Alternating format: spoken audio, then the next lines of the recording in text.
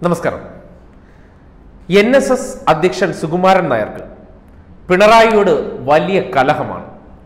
പ്രശ്നം പിണറായി എന്ന മുഖ്യമന്ത്രിയല്ല അദ്ദേഹത്തിന്റെ ജാതിയാണ്.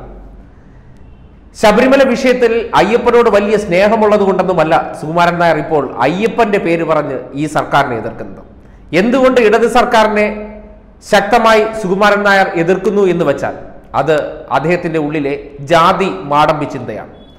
പലകുറി നോക്കിയാൽ മാത്രം മതി. അദ്ദേഹത്തിന്റെ ഈ സർക്കാരിനോടുള്ള സമീപനം.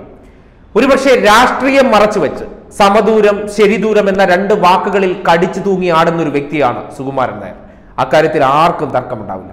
അത് അദ്ദേഹത്തിന് രാഷ്ട്രീയം മറച്ചു വച്ചതിന് ശേഷം ഒരു തെരഞ്ഞെടുപ്പ് റിസൾട്ട് വരുമ്പോൾ ഞങ്ങൾ സ്വീകരിച്ച നിലപാട് കൊണ്ടാണ് ഈ സർക്കാർ അധികാരത്തിലേറിയത് എന്ന് അവകാശവാദം ഉന്നയിച്ച് ആ വരുന്ന സർക്കാരിൽ നിന്ന് ആനുകൂല്യങ്ങൾ എന്തൊക്കെ കൈപ്പറ്റാൻ കഴിയുമോ അതെല്ലാം നേടിയെടുക്കുക മാത്രമാണ് കാലങ്ങളായി സുകുമാരൻ നായർ ഈ നാട്ടിൽ ചെയ്തുകൊണ്ടിരുന്ന കാര്യം വ്യക്തതയോടുകൂടിയും ശക്തമായും ഒരു കാലത്തും എൻ എസ് എസ് രാഷ്ട്രീയ നിലപാട് പറഞ്ഞിട്ടില്ല. എൻ എസ് എസ് ഒരു കാലഘട്ടത്തിൽ സ്വന്തമായി രാഷ്ട്രീയ പാർട്ടി ഉണ്ടാക്കിയ ഒരു ചരിത്രം കേരളത്തിലുണ്ട്. സുകുമാരൻ നായർക്കും ആ ചരിത്രം അറിയാം. അപ്പോ ആ രാഷ്ട്രീയ ചരിത്രം പരിശോധിക്കുമ്പോൾ സുകുമാരൻ നായർക്ക് അറിയാമല്ലോ എത്ര എം എൽ എമാരെ അതിലൂടെ ഈ നാട്ടിൽ സൃഷ്ടിച്ചെടുക്കാൻ എൻ എസ് എസിന് കഴിഞ്ഞു എന്നുള്ള യാഥാർത്ഥ്യം ഇവിടുത്തെ ഇപ്പോൾ ജീവിച്ചിരിക്കുന്ന തലമുറയിലുള്ള പലർക്കും അറിയാവുന്ന ഒരു കാര്യമാണ്. അപ്പോ സ്വതന്ത്രമായി നിന്ന് ജയിക്കാൻ ഒരു സ്ഥലത്ത് പോലും വെല്ലുവിളിച്ചുകൊണ്ട് ജയിക്കാൻ പറ്റില്ല എന്നുള്ള യാഥാർത്ഥ്യം നിങ്ങൾക്കറിയാം. അത് കേരളത്തിലെ ഏത് മണ്ഡലങ്ങളിലായിക്കോട്ടെ സുകുമാരൻ നായർ രാഷ്ട്രീയ നിലപാട് പ്രഖ്യാപിച്ചതിന് ശേഷം ഇന്ന മണ്ഡലത്തിന്റെ പേര് പറഞ്ഞു. അവിടെ ജയിപ്പിക്കുമെന്ന് വെല്ലുവിളിക്കാൻ ധൈര്യമുണ്ടോ? ഒരിക്കലും ഉണ്ടായില്ല. അത് നടക്കില്ല അല്ലേ? അത് കൃത്യമായി സുകുമാരൻ നായർക്ക് അറിയാവുന്നത് കൊണ്ടാണ് രാഷ്ട്രീയത്തിൽ ഒരു വെള്ളം ചേർക്കുന്ന സമീപനം അദ്ദേഹം സ്വീകരിക്കുന്നത് അതായത് സമദൂരം ശരിദൂരമൊക്കെ പറഞ്ഞ് ഇലക്ഷനൊക്കെ വരുമ്പോൾ സമദൂരത്തിന്റെ ഭാഗമായാണ് നിങ്ങൾ ജയിച്ചു കയറാൻ പോകുന്നത്. ഇത് തന്നെയാണ് ഇപ്പോ അദ്ദേഹം ഈ തെരഞ്ഞെടുപ്പിലും കൈക്കൊണ്ടിട്ടുള്ളത്. ആരെയാണ് പിന്തുണയ്ക്കുന്നതെന്ന് പറഞ്ഞിട്ടില്ല. പക്ഷേ ശരിദൂരം സമദൂരം രണ്ട് വാക്കെടുത്ത് പുറത്തിട്ടിട്ടുണ്ട്. ഇതിനോടൊപ്പം തന്നെ അദ്ദേഹം ഭരണമാറ്റം ജനം ആഗ്രഹിക്കുന്നുണ്ട് എന്ന് പറഞ്ഞു. വിശ്വാസികളോട് ഇത്രത്തോളം മോശമായി പെരുമാറിയ ഒരു സർക്കാരില്ല. അതുകൊണ്ട് ഭരണമാറ്റം ജനങ്ങൾ ആഗ്രഹിക്കുന്നുണ്ട് ജനങ്ങൾ അസ്വസ്ഥരാണ്. ഈ ജനങ്ങളുടെ കാര്യം പറയാൻ സുകുമാരൻ നായർ ആരാണ് സുകുമാരൻ നായർക്ക് എൻ എസ് എസിന്റെ കാര്യം പറഞ്ഞാൽ മതി. ഇവിടുത്തെ പൊതുജനത്തിന്റെ മുഴുവൻ കാര്യവും അല്ലെങ്കിൽ പൊതുജനത്തിന്റെ മൊത്തം കാര്യങ്ങൾ നോക്കുന്നതിന്റെ കൊട്ടേഷൻ സുകുമാരൻ നായർ ആരെങ്കിലും ഏൽപ്പിച്ചിട്ടുണ്ടോ? സുകുമാരൻ നായർ നായർ സർവീസ് സൊസൈറ്റിയുടെ മുകളിലോ തലപ്പത്തോ ഇരിക്കുന്നുണ്ടെങ്കിൽ അതിന്റെ കാര്യം മാത്രം നിങ്ങൾ പറഞ്ഞാൽ മതി.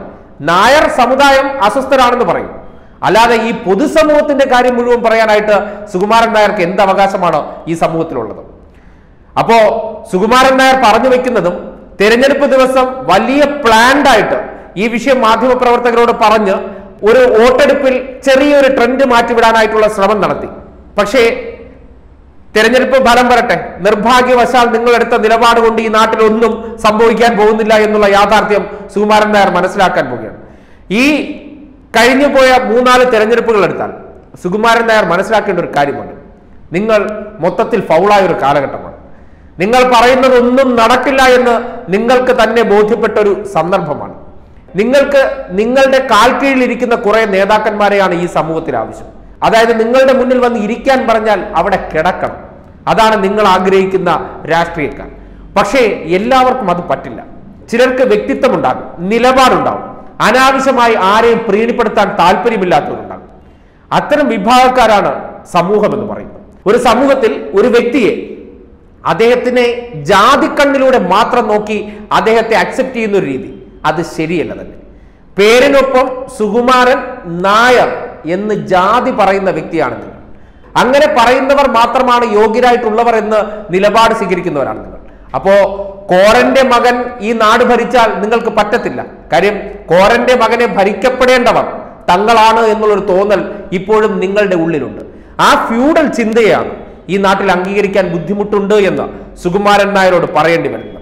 ഈ കാലഘട്ടത്തിൽ നിങ്ങൾ ഇപ്പോഴും അതേ ചിന്താഗതിയുമായിട്ട് നടന്നാൽ ഈ പറയുന്ന സംഘടന തന്നെ ഒരുപക്ഷെ അങ്ങോട്ട് പോകുന്ന കാലഘട്ടത്തിൽ വലിയ പ്രസക്തി ഇല്ലാതെ പോകുമെന്നുള്ള യാഥാർത്ഥ്യം തിരിച്ചറിയുക. നിങ്ങൾ നല്ലതിനെ ഉൾക്കൊണ്ട് ശരിയെ ശരിയെന്നും പറഞ്ഞു തെറ്റിനെ തെറ്റായും ചൂണ്ടിക്കാട്ടി അല്ലെങ്കിൽ തിരുത്തപ്പെടേണ്ടതിനെ നിങ്ങളുടെ ഇടപെടലിലൂടെ തിരുത്തി കാണിച്ചാണ് നിങ്ങൾ ഒരു സംഘടനാ നേതാവായിട്ടിരുന്ന് മാതൃക കാട്ടേണ്ടത്. അല്ലാതെ ഞാൻ പിടിച്ച മുയലിന് മൂന്ന് കൊമ്പെന്ന് പറഞ്ഞാൽ അങ്ങനെ പിടിച്ചോണ്ട് അവിടെ ഇരിക്കത്തേ ഉള്ളൂ. അതാണ് ഇന്നത്തെ കാലഘട്ടത്തിന്റെ ഒരു രീതി എന്ന് പറയുന്നത്. അതിനോടൊപ്പം എത്താൻ സുകുമാരൻ നായർക്ക് ഇതുവരെ ആയിട്ടില്ല. അതുകൊണ്ടാണല്ലോ ഇപ്പോഴും കുറച്ചധികം അനുചരങ്ങളെ കൊണ്ട് നടന്നിട്ട് നിങ്ങൾ ഇത്തരം പ്രവർത്തനങ്ങൾ കാണിക്കുന്നത്. രമേശ് ചെന്നിത്തലയല്ല ഇന്ന് കോൺഗ്രസ് എന്ന് പറയുന്നത്. അല്ലെങ്കിൽ ശ്രീധരൻ പിള്ളയും എം ഡി രമേശും അല്ല ബി ജെ പി എന്ന് പറയുന്നത്. അപ്പോ അതിനേക്കാളും വലിയ നേതാക്കന്മാരൊക്കെ ഉണ്ട് എന്നുള്ള കാര്യം അല്ലെങ്കിൽ അത്തരം ചിന്തകളില്ലാത്ത നേതാക്കന്മാർ വളർന്നു വരുന്ന കാലഘട്ടമാണ് എന്നുള്ള യാഥാർത്ഥ്യം സുകുമാരൻ നായർ മനസ്സിലാക്കണം. എന്നിട്ട് ഒരു സംഘടന വെച്ചുകൊണ്ടിരുന്നിട്ടുള്ള രാഷ്ട്രീയ പ്രവർത്തന പാടി അതിനെ വിടുപണി എന്ന് വേണമെങ്കിൽ പറയാം. അത്തരം പ്രവർത്തനങ്ങൾ അങ്ങ് നിർത്തുന്നതാണ് നിങ്ങൾക്ക് നല്ലത്. അല്ലെങ്കിൽ നിങ്ങൾ ഇരിക്കുന്ന കസേരയുടെ വില മുൻപിരുന്നവർക്ക് ലഭിച്ച ഒരു ആദരണീയതയുണ്ട്. അത് കിട്ടാതെ പോകും. സുകുമാരൻ നായരെ ഇപ്പോൾ തന്നെ മൊത്തത്തിൽ അങ്ങ് സ്വീകാര്യനായിട്ടുള്ള വ്യക്തിയൊന്നുമല്ല. പക്ഷേ നിങ്ങൾ നായർ സമുദായത്തിന്റെ പോപ്പാണെന്ന് അവകാശപ്പെട്ട് അവർക്ക് വേണ്ടി എന്തെങ്കിലും ഗുണമുള്ള കാര്യം നിങ്ങൾ ചെയ്യുന്നുണ്ടോ? കേവലം ഒരു രൂപ കൈപ്പറ്റാതെ ഈ എൻ എസ് എസിന്റെ കോളേജുകളിലോ സ്കൂളുകളിലോ എവിടെയെങ്കിലും ഒരു ജോലി കൊടുക്കാൻ നിങ്ങൾക്ക് പറ്റും.